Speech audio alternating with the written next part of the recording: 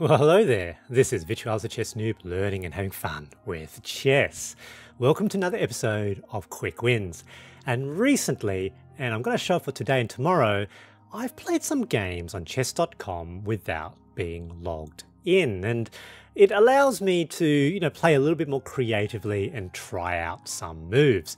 Now, in today's game, I got a rather interesting opponent who played some shuffling pawn moves, but it demonstrates a really important uh, checkmate pattern that is sometimes available in the opening. So let's go take a look. I've got the white pieces, and of course, e4.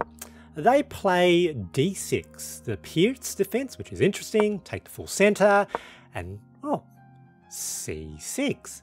And from now on, black makes these single one pawn advancement moves. This is all bad because they're basically not controlling the center, not developing any of the pieces, and in fact, in this game, they don't move anything other than pawns. So, develop the knight, there we go. Like this almost looks like a Caro-Kann defense where there's a one step behind. That's fine. Develop the other knight. They take. I take now with the knight. They push another pawn here. Here, I develop my bishop, basically, you know, attacking f7.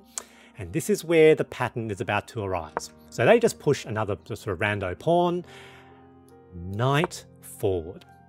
And this is the opening checkmate pattern to look out for.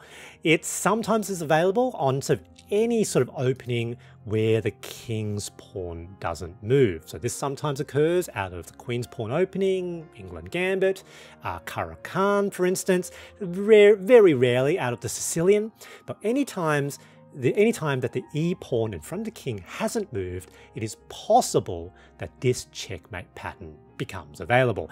And it's very often that the opponent, especially at the beginner intermediate level, will not be familiar with it and won't see it. Basically, this knight covers these two squares. So at the moment, the king actually doesn't have anywhere to go if it's ever put into check. The bishop here would put it in check and also defended by the knight. Uh, and that's often an unexpected checkmate. Here, my opponent plays the wrong move. They capture, you know, you can see it's a blunder because bishop now captures f7 and that's mate. And this cross here is a pattern to know. Good game, GG.